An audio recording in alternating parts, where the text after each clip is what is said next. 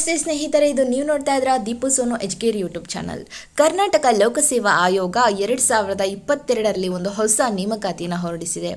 ಹಾಗಾದರೆ ಇದಕ್ಕೆ ಬೇಕಾಗಿರುವಂತಹ ವಿದ್ಯಾರ್ಹತೆಯನ್ನು ಎಷ್ಟು ಹುದ್ದೆಗಳು ಖಾಲಿ ಇದೆ, ವೇತನ ಹೇಗಿದೆ ಆಯ್ಕೆಯ ವಿಧಾನ ಹೇಗೆ, ಎಲ್ಲವನ್ನು ತಿಳಿಸಿಕೊಡ್ತೀನಿ. ಅದಕ್ಕಿಂತ ಮುಂಚೆ ಯಾರೆಲ್ಲ ನನ್ನ ಚಾನಲ್ಗೆ ಸಬ್ಸ್ಕ್ರೈಬ್ ಆಗಿಲ್ವೋ, ಪ್ಲೀಸ್ ಸಬ್ಸ್ಕ್ರೈಬ್ ಆಗಿ.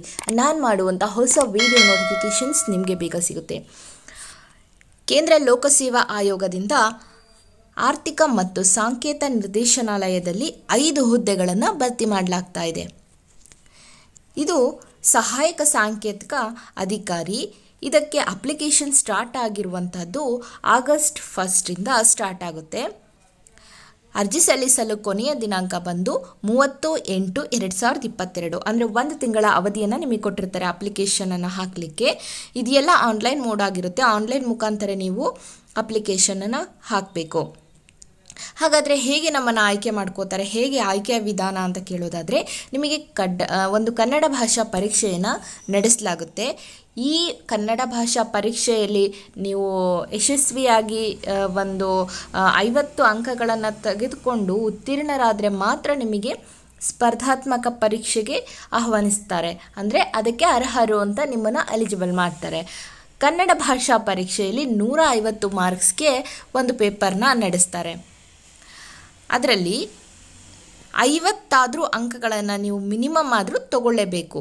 ಒಂದು ಫಿಫ್ಟಿ ಅಂಕಗಳನ್ನಾದರೂ ನೀವು ನೂರ ಐವತ್ತಕ್ಕೆ ಐವತ್ತು ಅಂಕಗಳನ್ನು ತಗೊಂಡ್ರೆ ಮಾತ್ರ ನೀವು ಮುಂದಿನ ಒಂದು ಸೆಗ್ಮೆಂಟ್ ಅಥವಾ ಮುಂದಿನ ಆಯ್ಕೆ ಪ್ರಕ್ರಿಯೆಗೆ ಅರ್ಹರಾಗ್ತೀರ. Otherwise it's all on the basis of percentage of a marks secured in a competitive examination ಮತ್ತು ನೆಕ್ಸ್ಟ್ ಏನಾಗುತ್ತೆ ಆಯ್ಕೆ ಆದಮೇಲೆ, ಇದೆಲ್ಲ ನಿಮ್ಮ ಸ್ಪರ್ಧಾತ್ಮಕ ಒಂದು ಎಕ್ಸಾಮ್ ಕೂಡ ನಡೆದ ಮೇಲೆ ಅದರ ಆಚೆಗೆ, ಆ, ಒಂದು ಮೀಸಲಾತಿಯಲ್ಲಿರುವ ನಿಯಮಗಳನ್ವಯ ನಿಮಗನ್ನು ಆಯ್ಕೆ ಮಾಡ್ತಾರೆ. ಜೊತೆಗೆ ನಿಮಗೆ ಸ್ಪರ್ಧಾತ್ಮಕ ಪರೀಕ್ಷೆ ಹೇಗಿರುತ್ತೆ ಹಾಗಾದರೆ ಅಂದರೆ ಅದರಲ್ಲೂ ಕೂಡ ನಿಮಗೆ ಎರಡು ಪೇಪರ್ ಬರುತ್ತೆ. ಹಂಡ್ರೆಡ್ ಪರ್ ಒಂದು ಪತ್ರಿಕೆ ಹಂಡ್ರೆಡ್, ಇನ್ನೊಂದು ಪತ್ರಿಕೆ ಹಂಡ್ರೆಡ್ ಮಾರ್ಕ್ಸಿಗೆ, ನೂರು ನೂರು ಅಂಕಗಳಿಗೆ ಎರಡು ಪತ್ರಿಕೆಗಳು ಇರುತ್ತೆ. ಇದರಲ್ಲೂ ಕೂಡ ನೀವು ಕನಿಷ್ಠ ಅಂದ್ರೂ ಕೂಡ ಮೂವತ್ತೈದರಷ್ಟು ಅಂಕಗಳನ್ನು ಗಳಿಸಲೇಬೇಕಾಗಿರುತ್ತೆ. ಆಯ್ಕೆ ಆಗಬೇಕು ನೀವು ಮುಂದಿನ ಪ್ರಕ್ರಿಯೆಗೆ ಅಂದರೆ ಸೇಮ್ ಆ್ಯಸ್ ಇಟ್ ಈಸ್ ನಾವು ಎಲ್ಲ ಸ್ಪರ್ಧಾತ್ಮಕ ಪರೀಕ್ಷೆಯಲ್ಲಿ ಬರೆಯೋ ಥರನೇ ಒನ್ ಇಸ್ ಟು ಫೋರ್ನಲ್ಲೇ ಋಣಾತ್ಮಕ ಅಂಕಗಳು. ನಾಲ್ಕಕ್ಕೆ ಒಂದು, ನಾಲ್ಕು ಸರಿಗೆ ಒಂದು ಋಣಾತ್ಮಕ ಅಂಕವನ್ನು ಕನ್ಸಿಡರ್ ಮಾಡ್ತಾರೆ. ತಪ್ಪಾದ ಉತ್ತರಕ್ಕೆ. ಹಾಗಾದರೆ ಏನೆಲ್ಲ ಪ್ರಶ್ನೆ ಪತ್ರಿಕೆಗಳು ಯಾವ ಥರ ಸಬ್ಜೆಕ್ಟ್ಸ್ನ ಕೊಟ್ಟಿದ್ದಾರೆ ಸಿಲೆಬಸ್ ಏನಿದೆ ಅಂತ ಕೇಳೋದಾದರೆ, ಸ್ಪರ್ಧಾತ್ಮಕ ಪರೀಕ್ಷೆಯಲ್ಲಿ ಮೊದಲನೇ ಪೇಪರು ಸಾಮಾನ್ಯ ಕನ್ನಡ ಆಗಿರುತ್ತೆ ಜಿ ಕೆ ಇದರಲ್ಲಿ ಪ್ರಚಲಿತ ಘಟನೆಗಳು ಸಾಮಾನ್ಯ ವಿಜ್ಞಾನ, ಭೂಗೋಳಶಾಸ್ತ್ರ, ಸಮಾಜ ವಿಜ್ಞಾನ ಮತ್ತು ಬೆಳವಣಿಗೆಗೆ ಇತಿಹಾಸದ ವಿಷಯಗಳು, ಕರ್ನಾಟಕದ ಇತಿಹಾಸ, ಈ ಇಷ್ಟು ರೀತಿಯಾದಂತಹ ಎಲ್ಲ ವಿಷಯಗಳನ್ನು ಕೂಡ ಕೊಟ್ಟಿರ್ತಾರೆ ಮೊದಲನೇ ಪ್ರಶ್ನೆಗೆ. ಮೊದಲನೇ ಪ್ರಶ್ನಾ ಪತ್ರಿಕೆಗೆ. ಇನ್ನು ಎರಡನೇ ಪತ್ರಿಕೆ ಇರುವಂಥದ್ದು ಸಾಮಾನ್ಯ ಕನ್ನಡ, ಸಾಮಾನ್ಯ ಇಂಗ್ಲಿಷ್, ಸಾ ಮತ್ತು ಕಂಪ್ಯೂಟರ್ ಜ್ಞಾನ. ಸಾಮಾನ್ಯ ಕನ್ನಡಕ್ಕೆ ಮೂವತ್ತೈದು ಅಂಕಗಳ ಒಂದು ಪ್ರಶ್ನೆಗಳನ್ನು ಕೇಳ್ತಾರೆ. ಸಾಮಾನ್ಯ general English, general Kannada, computer. ಓಕೆನಾ? ಕಂಪ್ಯೂಟರ್ ಅವೇರ್ನೆಸ್ ಬಗ್ಗೆನೂ ಕೂಡ ಮೂವತ್ತು ಅಂಕಗಳ ಪ್ರಶ್ನೆಗಳು ಇರುತ್ತೆ. ಟೋಟಲ್ ಆಗಿ hundred marks. First paper, second paper ಒಂದು ಜಿ ಕೆ, ಇನ್ನೊಂದು ಈ ಮೂರನ್ನು ಒಳಗೊಂಡಿರುತ್ತೆ. ಜೊತೆಗೆ ಈ ಒಂದು ಸ್ಪರ್ಧಾತ್ಮಕ ಕೇಂದ್ರಗಳನ್ನು ಅವರೇ ಸೂಚಿಸ್ತಾರೆ, ಎಲ್ಲಿ ಏನು ಅಂತ. ಇದಕ್ಕೆ ಬೇಕಾಗಿರುವಂಥ ಶೈಕ್ಷಣಿಕ ಅರ್ಹತೆಗಳೇನು ಅಂತ ನೋಡೋದಾದರೆ must be holder of a masters degree in any of the subjects of a mathematics master degree ಆಗಿರಬೇಕು mathematics statistics applied statistics economics with statistics quantitative techniques ಪ್ರೂ economics ಈ ರೀತಿಯಲ್ಲಿ ಕೊಟ್ಟಿರುವಂಥ ವಿವಿಧ ಇಲಾಖೆಯ ವೃಂದ ಮತ್ತು ನೇಮಕಾತಿ ನಿಯಮಗಳಡಿ ಹುದ್ದೆಗೆ ನಿಗದಿಪಡಿಸಲಾದ ವಿರಹ ವಿದ್ಯಾರ್ಹತೆಗಳನ್ನು ಹೊಂದಿರಬೇಕಾಗಿರುತ್ತೆ. ಇವರ ಪೇ ಸ್ಕೇಲ್ ಬಂದ್ಬಿಟ್ಟು ಅಂದರೆ ತಿಂಗಳಿಗೆ ಕೊಡುವಂತಹ ವೇತನ ಅವರು ಮೂವತ್ತೇಳು ಸಾವಿರದಿಂದ ಒಂಬೈನೂರು ರಿಂದ ಎಪ್ಪತ್ತು ಸಾವಿರದ ಎಂಟುನೂರ ಐವತ್ತರವರೆಗೆ ಸಿಗುತ್ತೆ.